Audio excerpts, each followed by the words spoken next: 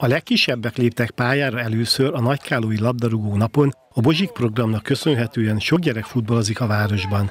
A Sport Egyesület megalakulására egész éves programsorozattal emlékeznek a településen. Emlékülést tartottak, nyílt egy kiállítás, valamint a Nagykálói VSE mind a hét korábbi szakosztályának szerveznek egy rendezvényt. A súlyemelők, az asztali teniszezők, a röplabdázók és a sakkozók után szombaton a labdarúgók kerültek sorra. Száz évről beszélünk, ugye valamikor azt gondolom, hogy patinásabb neve volt. E, nyilván a szakosztályok számából adódóan is ugye e, hét szakosztály volt korábban. Ugye ma, ma a foci e, az egyetlen szakosztály. Én azt gondolom, hogy amikor mi ezt átvettük ugye 2020 tavaszán, akkor akkor belemerültünk teljesen, a legfontosabb az volt, hogy anyagilag stabilizáljuk az Egyesületet, és azóta pedig próbálunk építkezni, indulnak az új korosztályok, eh, megpróbálunk minden anyagi körülményt és minden egyéb eh, ugye eh, a pályakörnyék és egyéb körülményeket megteremteni ahhoz, hogy jól érezzék magukat a gyerekek, el tudjanak jutni minden mérkőzésre,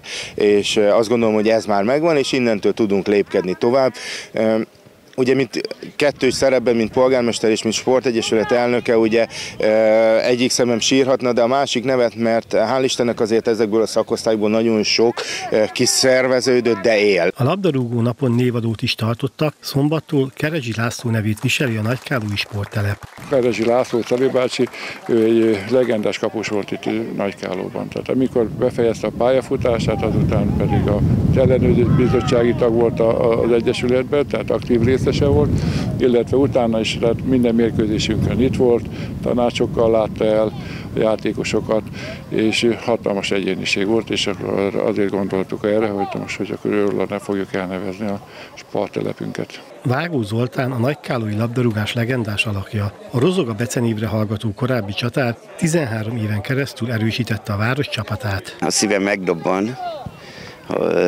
rengeteg szép élményünk volt itt a srácokkal a pályán, amit nem lesz soha elfelejteni, és ilyenkor, amikor látom a srácokat, és jó, hogy már kicsit meg vagyunk öregedve, de azért az emlékek visszajönnek. A Nagykálói öregfiúk csapata a magyar színész válogatott ellen lépett pályára. A színészek csapatkapitánya elmondta, hogy mindig szívesen szerepelnek hasonló rendezvényeken. Örültünk a megkeresésnek, és annak külön, hogy egy ilyen neves alkalomkor léphetünk pályára.